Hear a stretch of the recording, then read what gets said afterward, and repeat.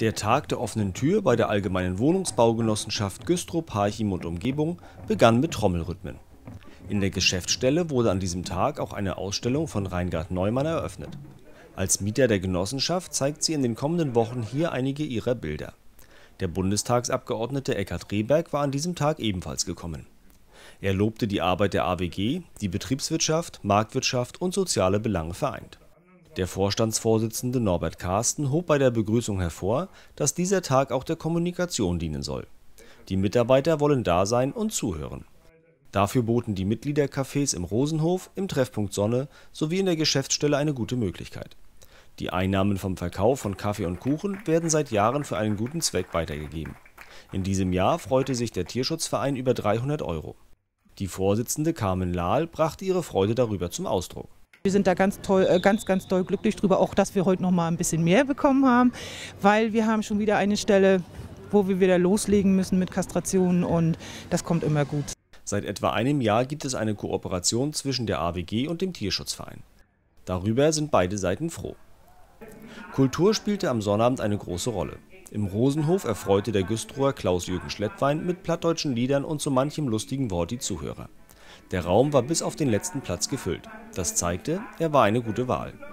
Ebenso groß war das Interesse im Sonnenhof.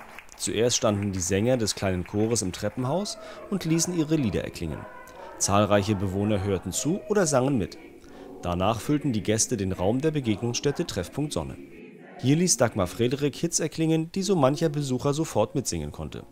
Wein nicht um mich Argentinien oder Ich könnte ohne die Liebe nicht leben erinnerten an viele schöne Jahre, die sie mit ihrer Stimme bereicherte. Währenddessen erfuhren Interessierte im Stadtbüro der AWG in der Baustraße mehr über das aktuelle Bauvorhaben der Genossenschaft. In der Ringstraße 46 bis 49 sollen bis Ende August Umbauarbeiten erfolgen wir haben vor, in dem Gebäude, das insgesamt 40 Wohnungen hat, 30 Wohnungen zu sanieren und zu modernisieren. Es ist ja ein Gebäude, das seit seiner Entstehung jungfräulich geblieben ist. Da wollen wir also auf einen heutigen modernen Standard umbauen und wir haben darüber hinaus vor, dass wir einen Aufgang, die Nummer 46, zu zehn barrierefreien Wohnungen umbauen. Wir haben nur den einen Aufgang leer gezogen, weil dort mit dem Einbau des Fahrstuhls, mit dem Anbau von Balkonen und der den kompletten Umbau der Bäder natürlich das im bewohnten Zustand nicht geht. Die Fenster wurden bereits vor einigen Jahren erneuert, nun soll die Fassade gedämmt und das Heizungssystem sowie die Ver- und Entsorgungsleitungen auf den neuesten Stand gebracht werden. 2,2 Millionen Euro wird die Wohnungsgenossenschaft für dieses Projekt ausgeben. Die Arbeiten wurden bereits begonnen und sollen bis Ende August abgeschlossen sein. Das Interesse war recht groß, Ulrich Reimer hatte am Sonnabend viel zu erzählen. Erstmals beim Tag der offenen Tür wurde ein Streetcup ausgetragen. Hierzu hatten sich 11 bis 14-Jährige melden können. Etwa 50 Kinder spielten in acht Mannschaften um den Sieg. Luis Galle und Johann Gerstenberger waren auch dabei. Sie hatten sich viel vorgenommen. Ja, also es war sehr gut. Wir haben auch sehr gut gespielt, haben jetzt auch die ersten zwei Spiele gewonnen und so müssen wir auch weitermachen. Unser Ziel ist Erste in der Gruppe, also in der Staffel. Worauf es auf so einem kleinen Spielfeld ankommt, wissen Sie genau.